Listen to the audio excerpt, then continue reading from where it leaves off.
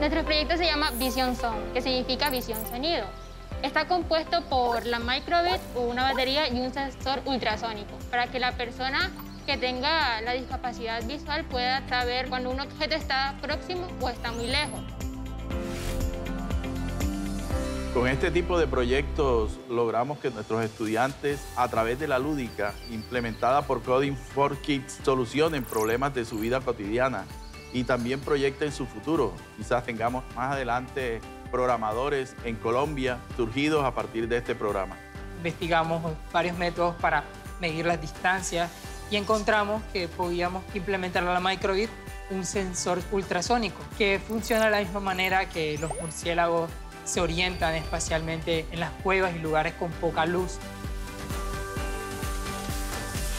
Muy buenas tardes, apreciados estudiantes. ¿Cómo han pasado? ¿Cómo están? Buenas tardes. El colegio fue beneficiado con más de 100 microbits que lograron utilizar los estudiantes y pues la experiencia ha sido muy satisfactoria. Quiero motivarlos a todos para iniciar en el mundo de la programación. No hay una edad específica, no importa la edad, pero todas las personas lo podemos hacer. Invito a todos los profes de Colombia a que se vinculen a este maravilloso proyecto de programación para niños y niñas.